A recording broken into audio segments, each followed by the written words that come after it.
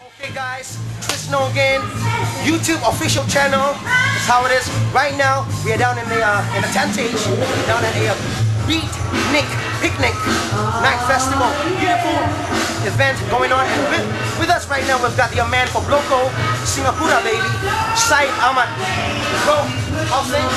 Very, very, very. Wonderful. So what's your take on this whole event? You know, speak up your mind, whatever, you know. I think it's great. What do you think? It's amazing. It's really, really amazing. My dream come true. Great. And Amazing. and the people that has helped me, especially Snow, she was amazing both nights on stage. Oh. It was super, super amazing. Don't know what he did. Oh man. Thank and you. the and the kids were great. More shows to come. Yeah, more shows to come. So Right. what, what's in for the future for Bloco? Nubo Bloco or um, whatever man. Just just tell me something. So watch out for both. Bloco Singapura and the Samba School itself. Brazilians coming in to help us with that, you know, to push that further. Nice. And then we've got Nobu Local, we've got Moving so far. So the, the smaller group, um, that group is still somewhere on that. So just want to. Great. Um any uh, upcoming shows in uh, do you perform regularly anywhere or what's up right now after this?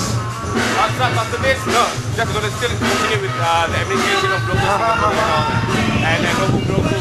And then preparing with all the, with the us, yeah. Oh wow, that's great. Zuka has asked us to play for them. ZoukOut guys, there you go. Syed Ahmad and Bloco Singapura down at ZoukOut.